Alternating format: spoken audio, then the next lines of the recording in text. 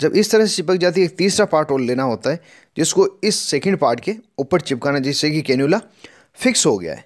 तो इस तरह से कैन्यूला को लगाया जाता है। स्वागत है दोस्तों एक बार फिर से आपके अपने YouTube channel learn about medicine में, जहाँ आप पाते दवाइयों के बारे में संपूर्ण जानकारी। दोस्तों, आज का वीडियो किसी दवा के बारे में नहीं है, लेकिन इस वीडियो को मैंने आपकी डिमांड पे बनाए हैं, जिसमें आपने मुझे कहा था आईवी कैन्यूला को वेन में किस तरह से लगाया जाता है, इसका प्रैक्टिकल डेमो करके बताइए। तो इसी डेमो को मैं इस वीडियो में मैं करके बताऊँगा। साथ ही इस वीडियो में तीन अलग अलग पार्ट में बनाए हैं, जिसमें पहले पार्ट में हम जानेंगे आईवी कैन्यूला को वेन में कैसे फिक्स किया जाता है।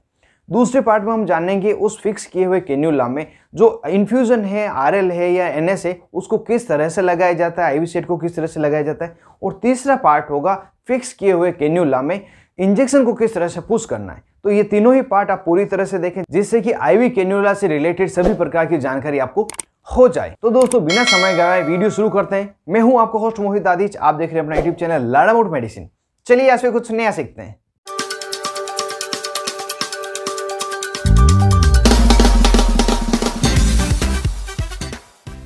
हेलो फ्रेंड्स नमस्ते दोस्तों।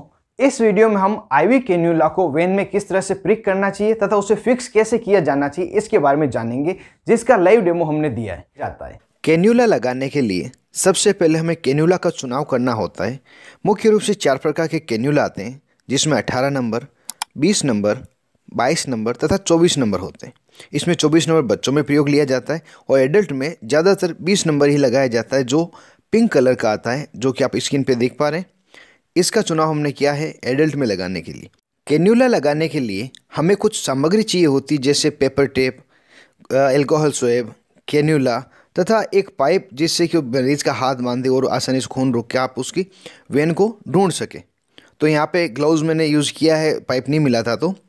तो सबसे पहले मरीज़ को अंगूठा अंदर मुट्ठी में डालकर मुट्ठी बंद करने के लिए बोलें और उसकी कोहनी के जस्ट ऊपर उस पाइप से या जो अब भी आपके पास चीज़ है उससे बाँध देवें। जिससे कि उसकी वेन में ब्लड आना बंद हो जाए, जिससे कि वेन ऊपर आ सके। जो कॉटन स्वेब था आपके पास, जो एल्कोहल में डूबा हुआ है, उससे उस जगह को साफ़ करें जहाँ पे आपको कैन्यूला फिक्स करना है। और धीरे धीरे इस तरह से उस वेन को ऊपर नीचे थोड़ा सा मारें, जिससे कि वेन ऊपर आ जाए। जब क्लियरली आपको वेन दिखने लग जाए तो कैन्यूला को पैकिंग से बाहर निकालें और जो इसकी दो नोब है, इसे ऊपर कर लें।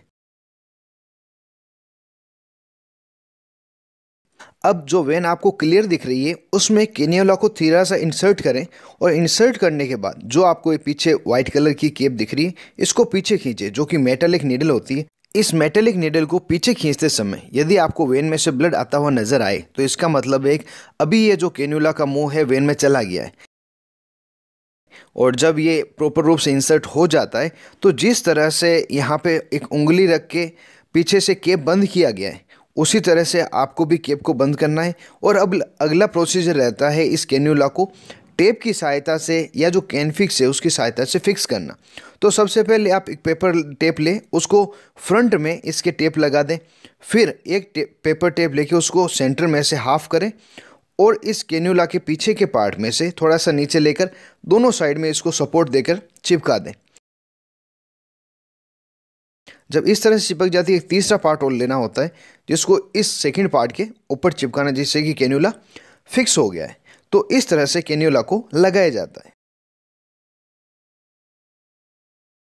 तो दोस्तों, ये प्रैक्टिकल प्रोसीजर था। यह प्रैक्टिकल प्रोसीजर आपको कैसा लगा? क्या इस तरह की वीडियो आप और भी चाहते हैं? तो मुझे कमेंट बॉक्स में ज़रूर से कमेंट करें, जिससे कि इस तरह की वीडियो और भी मैं आपके लिए ला सकूँ। आप तो अपने दोस्त मोहित आदिश के साथ। देख रहे थे अपना YouTube channel learn about medicine thank you friends Take care and be careful to medicine users.